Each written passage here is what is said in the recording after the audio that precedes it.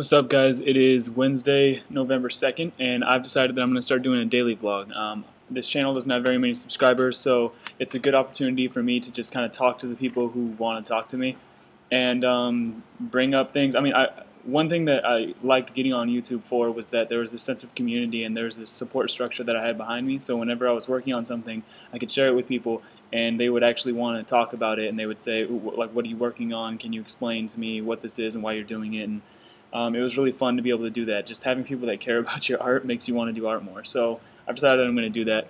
Um, I haven't talked to anybody on YouTube. I haven't really been talking to anyone on the internet for a while. I've been posting a few blog posts on my Tumblr, but aside from that, I've just been I've just been working, man. I've got done with um, I think this week I will get done with three pairs in two weeks. If not, then it'll be three pairs in three weeks, which is the most the largest amount of shoes that I've ever done before and then I'll move right on to the next pair. Um, one thing I'm really excited about is the fact that these, all, taking all these orders and completing them all, is not only getting me a little bit of money, but it's also allowing me to chip at the uh, the pressure mounting on my shoulders that has been mounting on my shoulders. I've been chipping away at it and I'm almost there. I also got a job. I'll be working retail at Urban Outfitters while I await a display artist position to open up. They've brought it up to me like two or three times, so I'm really thinking that I'll be able to get that display artist position and I'm pretty damn qualified for it. I've uh, at this point I've built a house and I've built a lot of art in the meantime. So I think that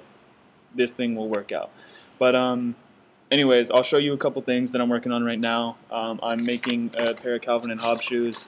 I actually wrote my own comic for it, which I'll show you soon. You could probably read it here. Um, it's all messed up. The the lines are not there at all. I'll tell you one thing. I learned to draw on on Bill Watterson's work. I learned to draw first on his and then on Dragon Ball Z. But uh, when I was really really little, I was copying Bill Watterson stuff, and I didn't realize I have a a newfound respect for Watterson because I did not realize how difficult it was to make art look that good with so few lines. It's insane how good he is. Um, so I'm really excited to get these done. I've learned a lot in the meantime. And then the other another thing I'm working on is I'm making this uh, this sculpture here, which I'd like to see you guys guess as to what it is, but uh, it looks like that when it's done. So let's see. I mean, you can guess in the comments if you want. Winner gets a comment back from me.